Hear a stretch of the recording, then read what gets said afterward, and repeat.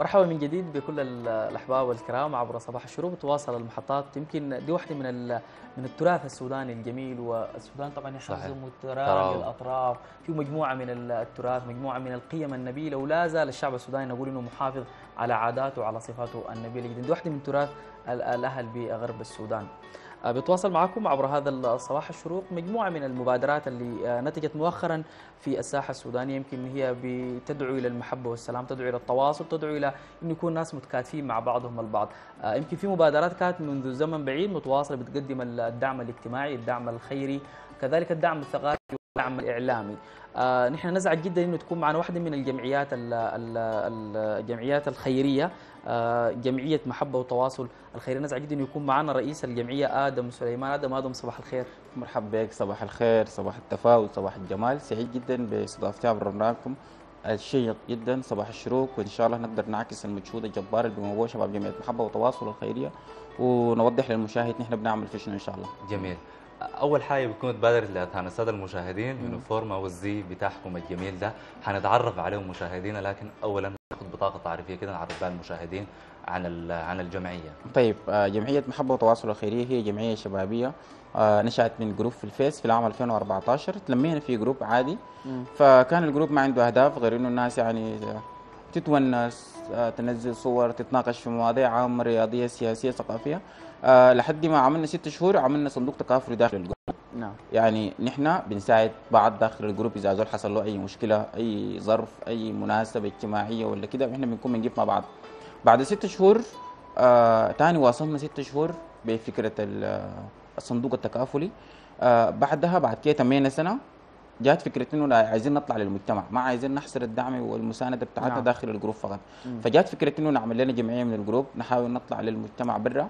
نساعد المجتمع نقف معه في جميع الظروف بتاعته. عليه جاءت فكرة جمعية محبة وتواصل الخيرية ووضعنا عدة أهداف قلنا نقوم نشتغل فيها. أهدافنا اللي هي بنشتغل في 12 مشروع خلال السنة. بواقع إنه في كل شهر لابد ننفذ لنا مشروع. نعم. هو تقريبا يا آدم أنتم آه، هدفكم الرئيسي مبادرة دعم الأسر الفقيرة صحيح؟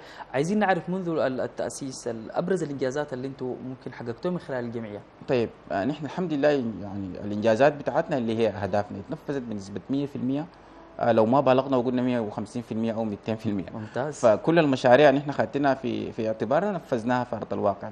منها اللي هي زيارات دار الميقومة زيارات دار العجزة زيارات للاستراحات بتاعت أطفال مرضى السرطان مشروع عمار المساجد. والخلاوي ومشاريع موسمية في رمضان وفي الشتاء مم. وفي الأضاحي بالإضافة لمشاريع لدعم الأسر الفقيرة وأسر الأيتام والمتع... والأسر المتعففة عبر تمليكهم وسائل إنتاج عشان الناس تقدر تسند نفسها بنفسها وكده بالإضافة لعندنا برضه مشروع لتدريب الشباب والخريجين في مجال علوم الحاسوب بندرب الشباب كيف يتعاملوا مع الحاسوب آه، بصورة عملية ومحترفة جدا جدا بندربهم يعني تدريب عملي مجان free كيف إنه الزول يتعامل مع الحاسوب البرامج بتاعت ال Word وال Excel وال PowerPoint لقينا إنه في أرض الواقع في مشكلة كبيرة جدا جدا. الشاب بيطلع وعنده مشكلة في تعامل طيب مع الحاسوب. جميل. جميل آه، طيب نعلق على الصور آه، تقريبا واحدة من المؤن بتوزع للمحتاجين. 200 آه، كانت المبادرة دي؟ المبادرة دي قبل ثلاثة أسابيع من الآن كانت في منطقة اسمها آه كنا مشينا وبنوزع حقائب غذائية لبعض الأسر. المنطقة أصلا هي عشوائية. وكل الأسر هنا يعني يا أسر جاية من مناطق بتاعت نزاعات أو يعني أسر فقيرة ومتعففة وما عندها مسكن فبيجوا بيبنوا بنى تقليدي وبيكونوا قاعدين في المنطقة دي. فاستهدفناها وزعنا فيها حكاية 85 بتاع حقائب آه تتكون من عدة مواد غذائية الدقيق والسكر وال جميع المحتويات اللي الأسرة. فمن المشروع ده نبع مشروع آخر لتمليك الأسر آه مشاريع إنتاجية لأنه نحن لقينا إنه الكيس ده آه بيقضي أسبوع أسبوعين بينتهي تاني الجوع بيكون بالضبط. متوفر وموجود. فمنها جات فكرة إنه نملك وسائل بتاعت إنتاج واشتغلنا ده كلام ده كلام طيب.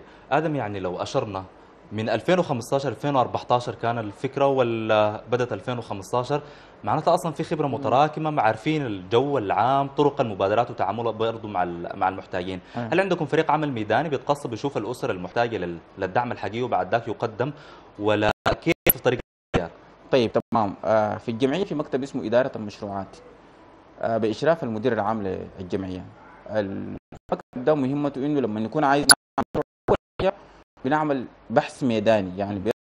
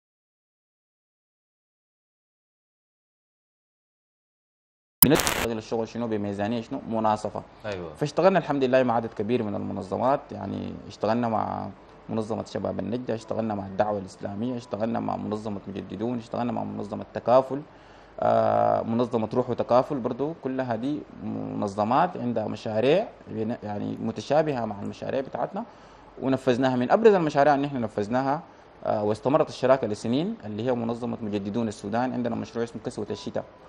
في كل سنة نسبة 70% ل 90% من الملابس بتجينا من منظمات مجددون نحن علينا عملية شنو؟ التوزيع و... ومثلا مرات تيجي ملابس مستعملة لكن محتاجه لعمليه بتاعت غسيل وكي وتعقيم وتكييس. فبرضه دي بتكون أجزاء بتاع تجيب لك الملابس مثلا من الناس اللي آه ما محتاج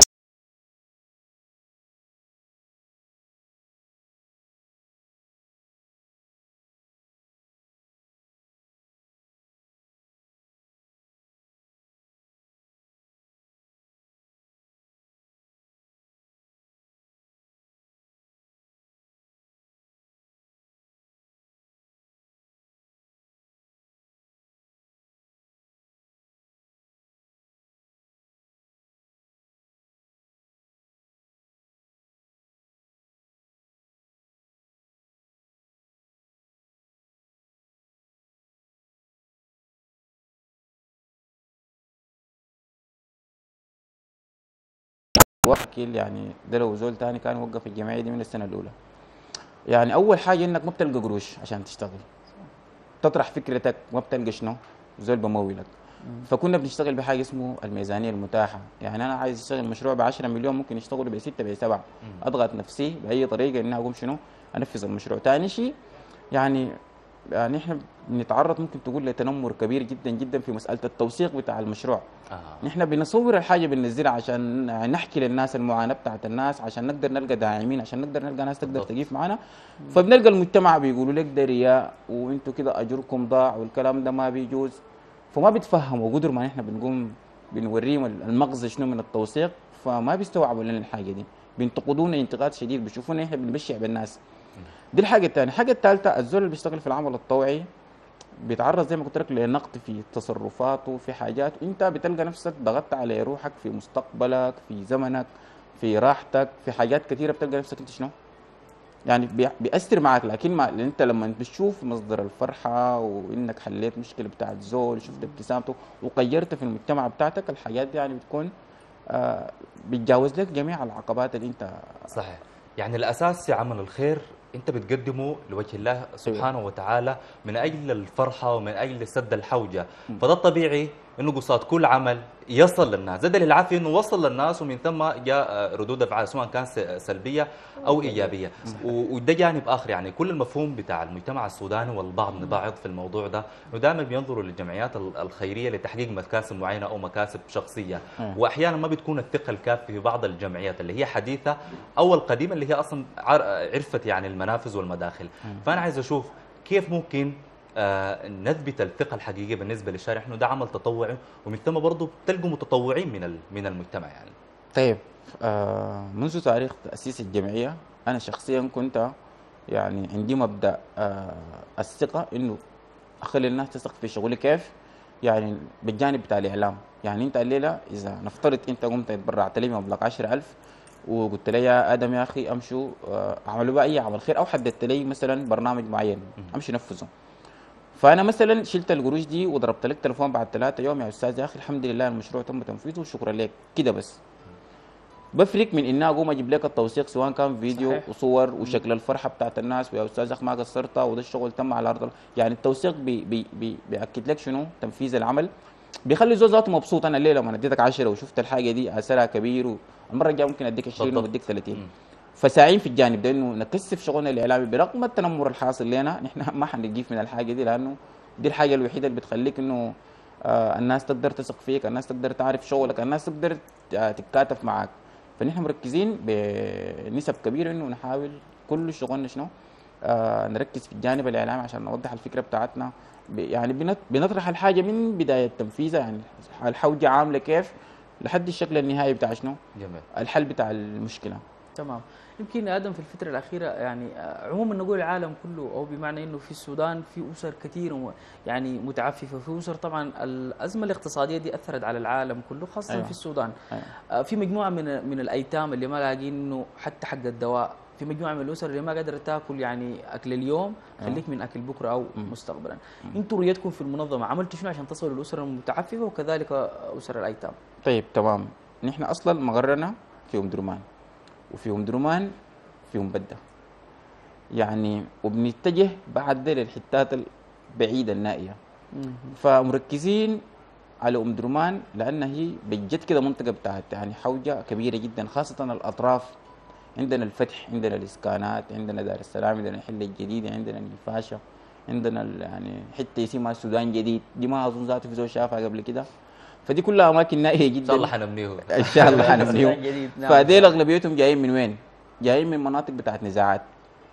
يعني أهلهم ماتوا يتهجروا جو ما في زول حاسبين من الحكومة. عارفاهم ولا المواطنين عارفينهم. يعني إلا المنظمات هي الجهة الوحيدة اللي بتصل الاماكن دي وبتقدر تقيف مع الإنسان هذا المنطقة، الإنسان هذا المنطقة محتاج للملابس، محتاج للأكل، محتاج للشراب، غير كده محتاج له وسيلة عشان أنا ما عايز الإنسان ده يكون متلقي للدعم. يعني كل مرة أنت تجي تدي كيس تدي دواء كده ما حلت له مشكلته. يا أخي علموا الزراعة ادي مشروع صغير أعمل لهم سوق جنبهم أعمل لهم مصنع على أساس إنه الناس تقدر تكون منتجة وحاسه بانها زول بيعمل حاجة.